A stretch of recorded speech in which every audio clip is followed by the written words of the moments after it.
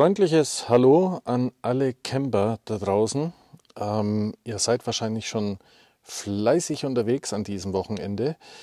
Äh, ich habe mich heute entschieden, an dem Tag noch einen zweiten Teil von unserem Tournee zu machen, da es doch noch einige Features gibt, die es extra noch einmal zu erwähnen gibt. Und alles in ein Video zu packen, ist aber ein bisschen viel, dann kommen viele Details äh, zu kurz.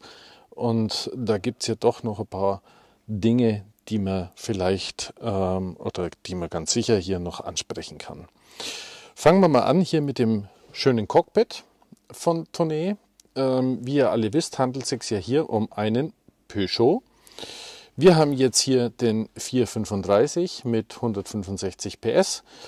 Wir haben ein Kenwood äh, Radio Navigationsgerät äh, DAB ähm, mit ähm, Bluetooth-Schnittstelle, wo wir hier unten haben, ähm, schon serienmäßig verbaut.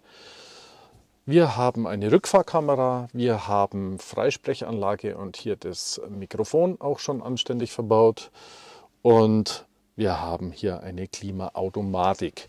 Klimaautomatik heißt zum Unterschied nicht nur heiß-kalt einstellen, sondern hier kann ich über das Rädchen hier die Temperatur dementsprechend auswählen und ja, ist, ist eine schönere Sache, finde ich persönlich, wie die normale Klima. Dann haben wir hier Lederlenkrad und Lederschaltknauf. Ähm, hier haben wir die Armaturen. Gut, die kennt jeder. Die schauen sehr ähnlich, nicht nahezu gleich aus wie beim Fiat Ducato. Ähm, das Lenkrad ist halt Unterschied. Hier haben wir ein Peugeot-Zeichen drauf. Hier oben haben wir auf Wunsch äh, die Möglichkeit, äh, ein Klemmbrett hinzumachen, wenn man das möchte.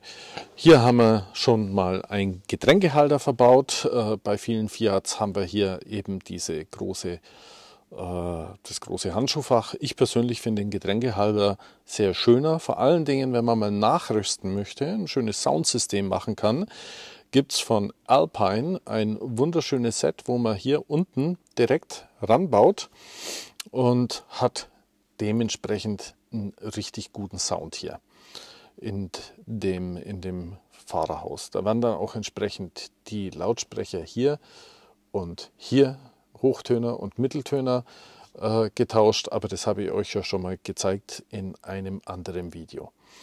Hier haben wir natürlich auch serienmäßig einen Beifahrer-Airbag. Ähm, der ist auch dementsprechend immer verbaut. Hier auf der Seite haben wir die ganzen Lichterkombinationen. Klar, Blinker und so weiter, das kennt jeder. Das ist alles nichts Neues. Und Zigarettenanzünder, klar, gut straffer. Elektrische Fensterheber, elektrische Spiegelverstellung, auch das ist hier alles integriert. Was ich beim Tournee besonders schick finde, ist hier das Plissé von unten nach oben zu ziehen. Das Schöne ist äh, in dem Fall, ich kann es auch mal auf halb, dreiviertel Stellung stellen, dann kann schon mal keiner mehr reinschauen, aber ich habe trotzdem noch, wenn ich hier sitze, so ein bisschen die Sicht nach außen und es kommt auch noch genügend Licht rein. Also das finde ich hier ganz schick gelöst, finde ich wesentlich schöner wie die von links nach rechts, in der Mitte zusammen. Ähm, aber auch das ist Geschmackssache, doch finde ich das Plissé hier wirklich schick. Ähm, dann gehen wir mal auf die Seitenplissés ein. Die sind hier verbaut. Auch die finde ich ganz toll. Es ist so ein Fächer. Ja, da kann man auch sagen, gibt es natürlich andere, die zieht man hier raus. Am besten hier wieder so ein bisschen rein, damit man hier entlang die Führung hat. Äh, das finde ich immer ganz praktisch. Über den Schweller hinweg bis nach oben und dann wird ein Stück runterklicken und schon ist das Ganze dicht und es ist halt wirklich blickdicht. Also klar, man muss ein bisschen aufpassen, das ist natürlich alles Papier, kann man natürlich nicht reinrammeln, aber das ist ja bei alle Plissés so. Ähm, wieder ein Stück hochziehen, runter, vorsichtig zusammenfalten und dann hier wieder sauber nach vorne schieben und schon haben wir das Ganze wieder arretiert und freie Sicht. Also finde ich ganz schick, erledigt und gut gemacht. Hier haben wir dann noch Teppich natürlich mit drin, natürlich mit dem Tournee-Emblem. Das schaut natürlich auch sehr edel und klasse aus. Also finde ich richtig toll. Und jetzt kommt eigentlich das eigentliche Feature, was ich euch noch zeigen wollte und möchte. Das ist der fertige Umbau hinten von dem festen Bett, dass ihr das auch mal seht. So kann das ausschauen. Wie funktioniert das Ganze? Das äh, zeige ich euch jetzt. Das bauen wir jetzt wieder zurück. Ich wollte es euch nur mal zeigen. Hier haben wir die volle Liegefläche. Hier können zwei Mann sauber liegen. Also das passt wunderbar. Ich habe das schon mal ausprobiert. Ähm, lässt sich wirklich angenehm schlafen, kommt ja letztlich noch ein Topper drüber, der das Ganze, die ganzen Verbindungen hier noch softig gestaltet. Der liegt hinten drin, der ist jetzt nur hier hinten noch original verpackt, den wollte ich jetzt nicht auspacken.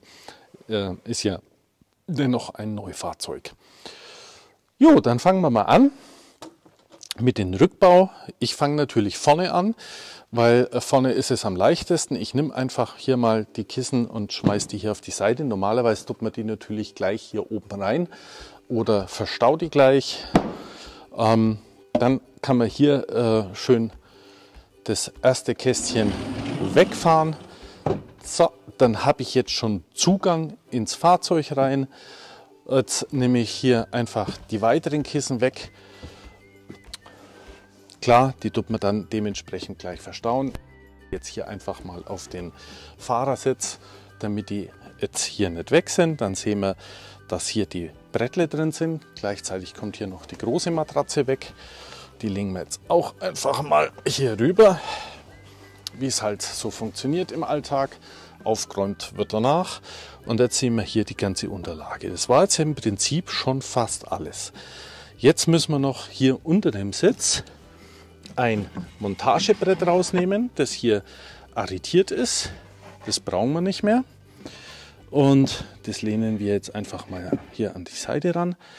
Und jetzt können wir das hier schon wieder einfahren. Bevor wir es einfahren, müssen wir die Füße hier einfach nach oben einklappen. Ihr seht, zack. Und jetzt mit ein bisschen Gefühl wird das Ganze wieder eingefahren, schon fertig. Das war schon der erste Streich. Das gleiche im Prinzip auf der Seite beim Tisch. Jetzt tun wir das Brettchen hier weg, damit wir nichts kaputt machen. Ähm, das gleiche funktioniert auch hier ganz genauso, indem wir einfach hier ein bisschen hochziehen, den Fuß einklappen, dann ist er schon mal drin.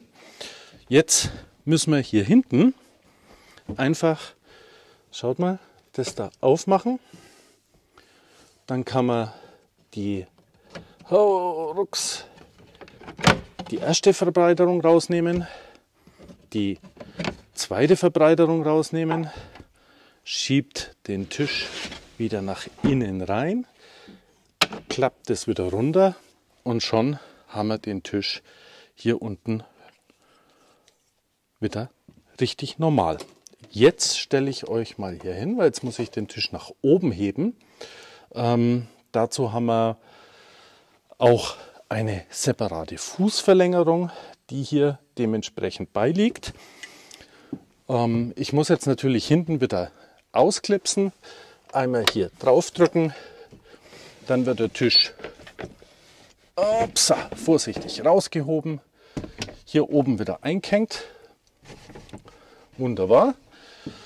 Dann der Tisch, äh, der Fuß einfach hier wieder reingesteckt und schon sind wir fertig. Das war es letztlich schon. Jetzt müssen wir nur noch da hinten die Bollermänner wieder von unten nach oben drücken, damit es wieder arretiert ist. Natürlich beidseitig. Zack. Und schon ist er wieder fest. Man hat natürlich jetzt auch durch diese Möglichkeit auch die Situation, dass ich einmal hier den Tisch einmal ausziehen kann. Und kann. Wie ein Passer, schön passgenau, also finde ich richtig geil. Und ich habe natürlich jetzt die Möglichkeit, den Beifahrersitz zu drehen, ist ja logisch. Und wenn noch einer kommt, kann ich hier den Hocker auch ausfahren und kann den natürlich gleichzeitig auch als Sitzvariante nutzen, um hier zu sitzen. Also das ist eine richtig tolle Sache. Ihr seht's, ich sitze jetzt hier und kann hier wunderbar dementsprechend, wenn hier schon drei, vier Leute sitzen, kann hier nur ein Fünfter sitzen, ohne große Probleme, selbst mit Essen funktioniert. Kleines Kissle hier auf die Bank legt und schon kann man im Prinzip hier nochmals jemanden dazuladen. Gleichzeitig kann man natürlich die Bank aber auch nutzen, wenn man ein Kisschen drauf tut, zur Beinauflage, als Kochabstellfläche oder, oder, oder. Also das ist eine ganz tolle, nützliche Bank, die man ganz, ganz vielseitig nutzen kann. Also finde ich persönlich richtig, richtig gut. Jo, wo verstauen wir die Brettchen? Das habe ich gestern schon mal kurz gesagt. Machen wir das mal wieder zurück. Hau ruck. Dann schieben wir den Tisch wieder rein. Klappen das wieder runter. Zack. Und schon ist das wieder fertig. Schieben unseren Hocker wieder rein. Dann ist er uns nicht im Weg. Zack. Und hier unten haben wir ein kleines oh, hier, Türchen. Und da sind letztlich die Brettchen alle verstaut. Die kommen hier einfach so rein. Voila. Uh, voila.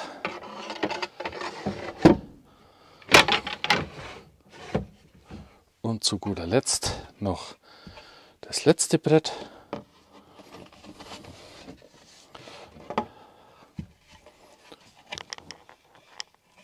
Halt, muss auf die Seite rein. Und schon haben wir alle drin. Voilà. Und jetzt sind alle weg. Tür zu. Und jetzt nur noch die Kissen aufräumen und schon haben wir das Fahrzeug wieder abfahrtsbereit oder tags, Tageslicht tauglich und so weiter. Die äh, Matratzen tut man natürlich wieder hinten in die Heckgarage und das Bett. Ich da findet sich aber auch bestimmt dann entsprechend ein perfekter Stauraum und dann ist das alles wieder weg. Hier haben wir noch den Keil, der vorne noch unter die Sitzbank gehört. Den machen wir dann hier wieder drunter, damit man dementsprechend hier wieder den tollen Sitzkomfort hat. Halt, äh, stelle ich euch mal so dazu. Kleinen Moment, halt. Genau so. Der ist ja mit den Klettverschlüssen hier, sieht man eigentlich ganz schick. Und da tun wir den eigentlich nur kurz anheben und den Keil hier wieder schön sauber drunter platzieren und das wieder drauf und schon ist es fertig. Muss man nicht, kann man drunter tun, wenn man das möchte. Eben ist eine kleine Erhöhung, ist halt ein bisschen angenehmer zum Sitzen. Die zwei Kissen hier von vorne, die waren hier oben drin. Die kommen hier oben wieder rein. Da kann man die verstauen. Oder eben auch in der Heckgarage, das macht jeder anders. Das bleibt jedem sich selber überlassen, wie er das alles verstauen möchte. Und schon ist das Bett wieder umgebaut. Also ihr merkt schon, das ist überhaupt nicht viel Act, das ist überhaupt nicht viel Arbeit. Das geht relativ leicht. Das Hündchen wieder gerade hinsetzen. Und relativ simpel ist es vom Handling her. Ähm, und das finde ich halt so genial. Also ich habe halt die Möglichkeiten. Ähm, bei vielen Vans habe ich die Möglichkeiten gar nicht. Jetzt war in den Kommentaren schon gestanden, Stockbetten sind besser. Ja klar, äh, wenn man das möchte, ja. Aber es ist ja hier eine vollwertige Schlafmöglichkeit, aber nicht für, für jeden Tag. Also wenn man erwachsene Kinder hat, wo das Kind nur alle halbe Jahr mal mitfährt oder wenn man halt mal einen Gast hat, der damit äh, schlafen will, kann man das mal mitmachen. Ähm, wenn man natürlich eine Familie ist mit vier Kindern oder mit zwei Kindern, ja, dann kauft man sich auch dementsprechend ja schon ein Fahrzeug mit feste Stockbetten oder mit Hubbett oder wie auch immer. Aber für die Lösung zwei Personen ab und zu hier mal eine Mitfahrgelegenheit und eine Schlafplatz finde ich die Variante eigentlich mit am genialsten, wo man das super lösen kann. Und ich habe genug Kunden, die auch mit ihren Kindern oder mit dem Kind fahren, die haben ein Kind und bauen dann gern, weil es einfach nicht viel Aufwand ist, hier die Situation einmal um und schon haben sie ein vollwertiges Bett und können hier schlafen und ja, alles top und haben ein schönes Auto, sechs Meter lang mit vier vollwertige Schlafplätze, alles verstaut, also ganz top, richtig easy. Jo, das wollte ich euch zeigen in Teil 2. Das war mir jetzt nur am Herzen gelegen, damit ich euch hier noch ähm, das Ganze erkläre, wie das funktioniert mit dem Bettumbau. Und in dem Sinn, euch eine gute Zeit.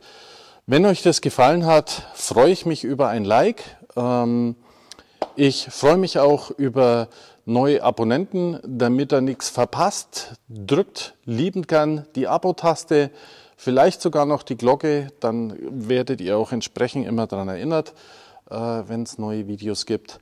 Und ich bemühe mich wirklich, die Videos immer schön interessant zu halten, abwechselnd Technik, Pflegemittel beziehungsweise Erneuerungen, tolle Sachen, was man im Gebrauch, in Camping Life alles brauchen kann, wo auch wirklich sinnvolle Sachen sind.